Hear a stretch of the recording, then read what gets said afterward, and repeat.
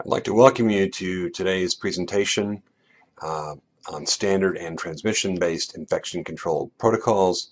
This is the first in a series of discussions on um, protection of healthcare workers and public health professionals uh, in the course of their routine uh, duties and uh, is part of the infectious disease response training um, uh, put on in cooperation uh, with Emory University. Uh, I'm Dr. Paul McKinney, University of Louisville, and I would like to acknowledge uh, Dr. Alex Isakov, who uh, helped develop this uh, slide set and uh, who uh, kindly allowed us to use it in the construction of our coursework as well in collaboration with him. Dr. Isakov is from the section of Pre-Hospital and Disaster Medicine, Department of Emergency Medicine Emory University in Atlanta. So in discussing standard precautions, uh, which is the basis of all infection control uh, protocol that might be um, uh, utilized in a, in a, a, routine fashion in a healthcare setting, um, that term combines what used to be known as universal precautions and body substance isolation. Universal precautions applies to uh, blood and a variety of other body fluids and body substance isolation uh, was designed to reduce the risk of transmission from a whole variety of moist body substances. So utilizing both of those together, we have the term now standard precautions.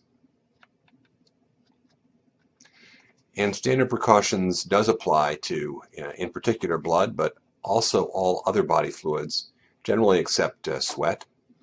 It applies to situations that might involve exposure of non-intact skin, and especially mucous membranes, which are uh, otherwise vulnerable points of entry for viruses, uh, bacteria, and other pathogens.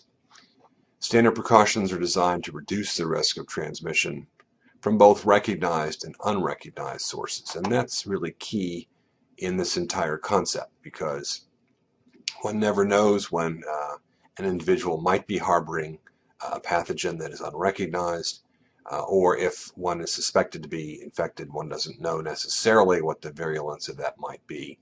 So uh, using standard precautions does serve to protect the healthcare worker or public health professional against a whole variety of unsuspected exposures.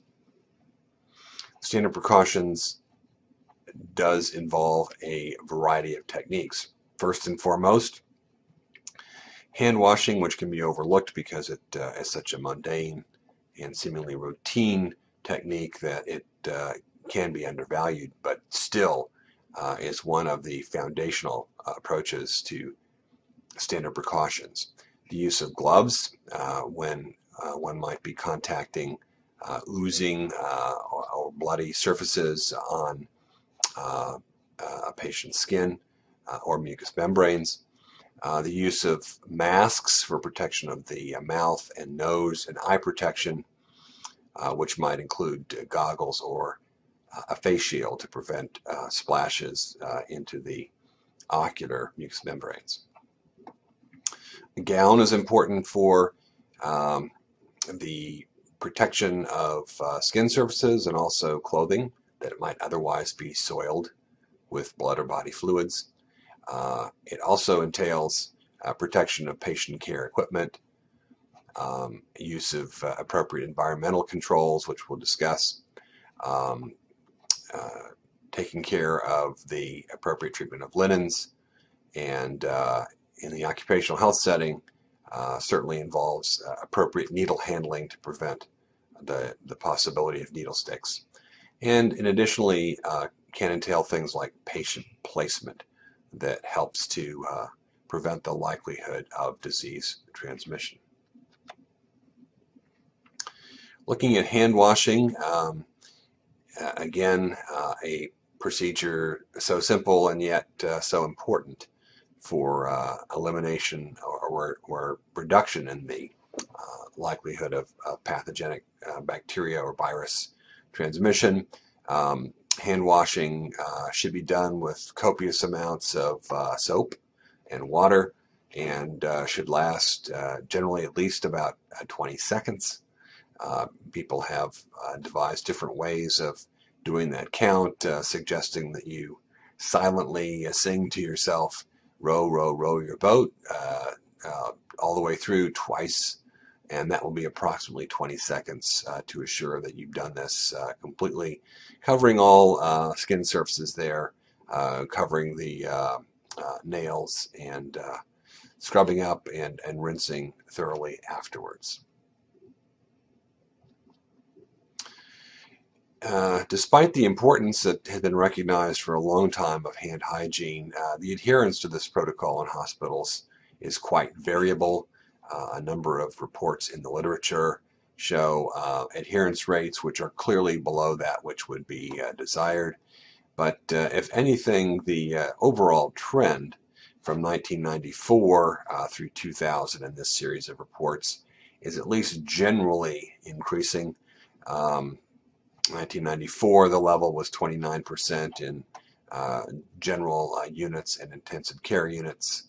Uh, and uh, by the year 2000, up to around 48%, which is still, of course, less than half and uh, far below an optimal range. but at least the word is partially uh, being uh, transmitted, understood, and resulting in appropriate changes uh, in practice. Self-reported factors for poor adherence uh, with hand hygiene, that is reasons why people uh, are not using uh, soap and water routinely or other agents for decontamination of skin surfaces, are that those agents can cause irritation and dryness. Uh, and of course, this is true. Uh, one has to be aware of that and uh, you know, appropriate use of uh, moisturizers uh, uh, after patient care encounters may be important to prevent dryness and, and cracking of the skin. they also include the fact that sinks can be inconveniently located. and that there may be a lack of, of, of sinks or poor placement of sinks that don't facilitate hand washing. And this, of course, is true. Uh, the situation is not perfect in every patient care setting, but uh, one must still uh, work with what is available and uh, and do uh, the best possible under those circumstances to make sure that hygiene occurs routinely. Sometimes there's a lack of soap or paper towels for drying. Um, and one has probably encountered all of these uh, if you've been around in the healthcare setting long enough people say they're too busy or there's insufficient time. But of course, the, uh, the time spent, the 20 seconds or so spent in hand hygiene in between patients is an excellent investment. Sometimes there's understaffing, overcrowding, uh, and that may, may make it more difficult to, uh, to deal with appropriate hand washing. Occasionally, we hear that patient needs take priority, that there's an, an acute situation. There's not not time for hand washing, but again, um, it's rare that uh, 20 seconds would not be um, uh, uh, wisely invested uh, in such situations. And we also hear that there's a low risk or perceived low risk of acquiring infection from patients. And while this might be true um, uh, broadly in, uh, in certain low risk situations, in, in certain types of hospitals, it is not true uh, in uh, secondary and tertiary care hospitals uh, where people of all sorts of um, risk backgrounds in terms of uh, infection likelihood uh, are present. And uh, this is not a good general approach to use and does not justify an absence of hand washing. And looking at the different kinds of agents that might be used to help reduce bacteria on the hands. This graph is uh, very useful. Uh, the orange lines uh, plot the uh, persistence of bacteria relative to the original um, uh, number that were present, arbitrarily set here is 100%. And looking at the time after disinfection uh, from 0 to 180 minutes, which is of course 3 hours, if you'll notice, uh, plain soap has a, a reasonable reduction in um, bacteria.